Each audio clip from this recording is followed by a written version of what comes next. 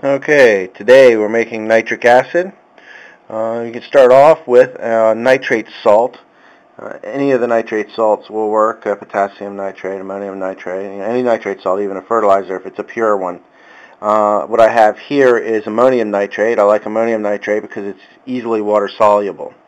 So what I'm going to do is I am going to add a little bit of water to this. And not a lot, just a little. And get this mixed up. You want it to be fairly dissolved.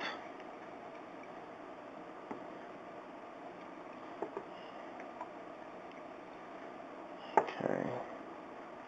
I used about uh, 40 grams of uh, ammonium nitrate and about 50 milliliters of water.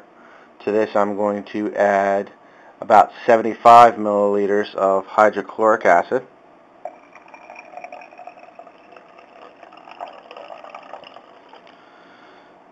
Go. Again, we've got to stir it up. We want this to be fairly nice. Okay. Alright, so that is our mixture.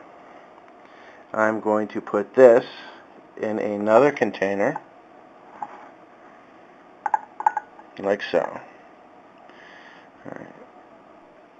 Okay, to this container I am adding water and in this particular case I'm not really adding water, I'm adding more of a nitric acid uh, mixture, a very weak diluted mixture that we had already made yesterday. This is actually the second uh, reaction uh, with the same water here, collection water. Alright, and uh, to this we're going to add about 32 grams of copper. I'm going to use a little bit more than 32 grams and instead of trying to buy copper uh, you know, from a chemical supplier or a metal supplier, I just bought these uh, copper fittings from a plumbing supply place and they work just fine.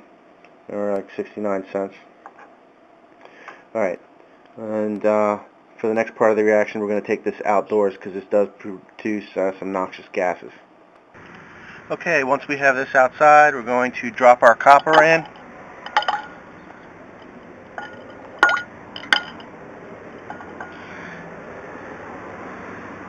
And cover it up like so and we're going to let this bubble through.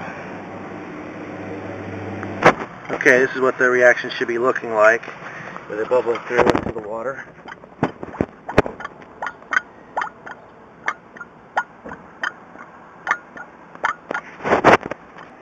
Okay, when it's done, this is what you should have.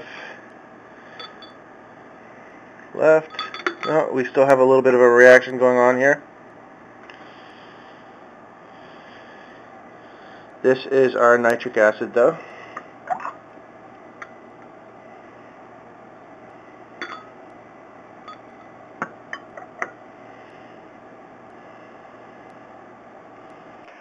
Okay, here's our copper waste byproduct.